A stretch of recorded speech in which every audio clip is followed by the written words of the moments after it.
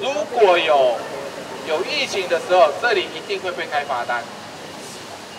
哎，为什么？因为它底下可能会有结决。台北市环保局人员仔细说明，这一片绿意盎然的造景墙面可能隐藏着滋生源。由于梅雨季节来临，雨后容易产生积水容器，成为病媒蚊滋生源。加上疫情解封、出国潮涌现，登革热境外移入病例也增加本土性登革热疫情发生的风险。台北市政府环保局在全市十二个行政区同步举办台北市滋生源清除日，呼吁民众加强检视住家盆栽、容器及周边环境，及时清除积水。去年还没开放的时候就没有登革热嘛，吼，那今年一开放的话，吼。现在已经有五个案例了啦，哦，都是境外，境内是没有，所以有这个境境外移入的话，那我们一定要赶快把这个我们自己台北哈这边这些可能会积水容器会滋生源的话，我们一定要清除哦。以往他回来之后被定到啊，定到以后，然后又把蚊子又定到别人，然后就会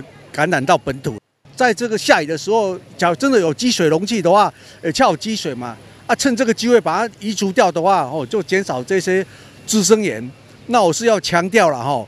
喷药不是最好的方法啦，最好的方法一定要把那个会这个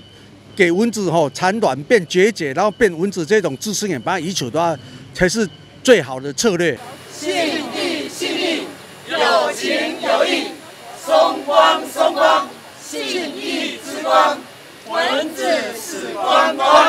配合全市资生源清除日，新义区公所方面也号召各里民众及环保义工队进行试施。除了组队进行环境巡检，也透过环保局专业说明与教育训练，让民众更加了解如何减少滋生源的产生。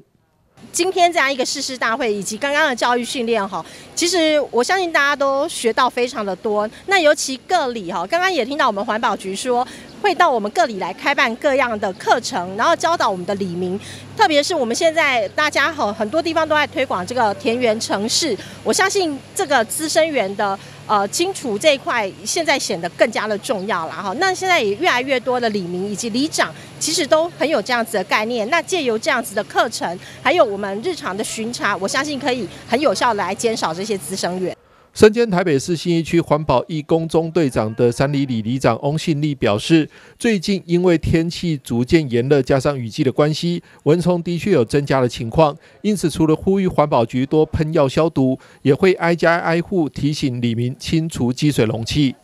就是挨家挨户去劝导。呃，看到有装容器的，我们就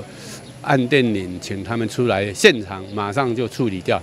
台北市政府环保局方面表示，环保局针对全市四百五十六个里的喷药消毒工作，从五月起每里提升为每两个月喷药一次。不过，防治登革热还是应该以知青为主，喷药消毒为辅。呼吁民众落实居家环境清洁和自我保护措施，才能有效防范登革热疫情的威胁。